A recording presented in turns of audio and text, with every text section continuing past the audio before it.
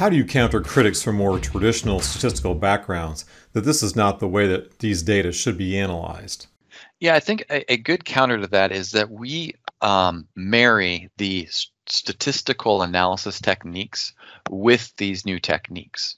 And so um, a lot of the, the uh, sentiment analysis that was done uh, you know 10 years ago would just be focused on a binary classification positive or negative and in it you know it's it's one or the other and what we've done in our analysis is we've actually created a numerical rating for the sentiment. So it gives you a, a kind of a, a continuum value, and it's normalized by the amount of words, and, and it's using mathematical techniques and algorithms to give us a number that we can we can use. And the idea about this is the same idea with statistics. Once we get a large enough sample, once we get the power in our data, we're able to apply that algorithm and look at those numbers and create a uh, an average and a standard deviation that accommodates for situations where we have miscoded values, we have items of sarcasm or other things that might be outliers. We have a large enough bulk of things that are correctly coded and that are giving numerical values that they outweigh those, you know, isolated um, incidents.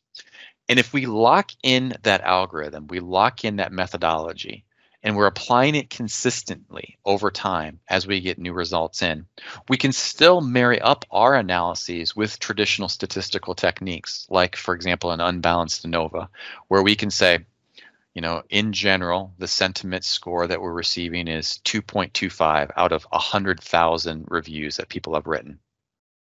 Now we're making a change based on what we've you know, mine this data and we found that these are the things we could modify. So as of this date, we're implementing a change to our service or product.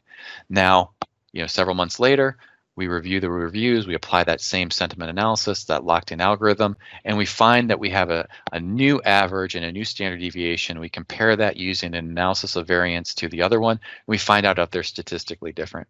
So I think there's been kind of an artificial conflict that's been uh, sowed over time about the unstructured data analysis and big data techniques versus the traditional statistical uh, methods.